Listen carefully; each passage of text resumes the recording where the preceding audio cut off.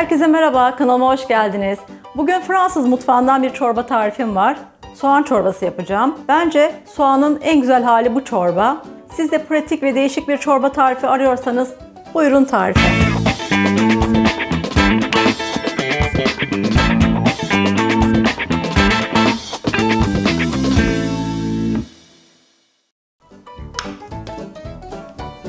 Tereyağını ve zeytinyağını tencereye alıyoruz.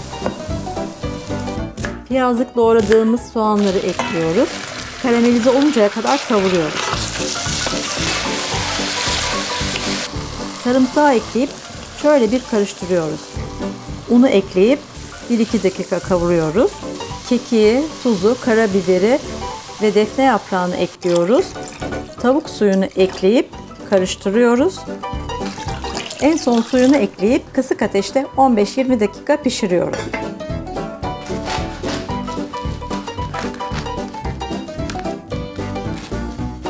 Bagetleri dilimliyoruz, fırın tepsisine diziyoruz. Üzerlerine rendelenmiş kaşar peyniri koyuyoruz. Önceden ısıtılmış 200 derece fırında peynirler eriyip kızarıncaya kadar pişiriyoruz.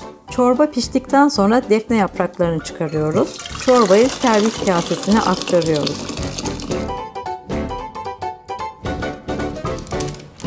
Yeni tariflerden haberdar olmak için kanalıma abone olmayı unutmayın. Çorbanın üzerine ekmekleri dizip servis yapıyoruz. Afiyet olsun. Tekrar görüşmek üzere. Hoşçakalın.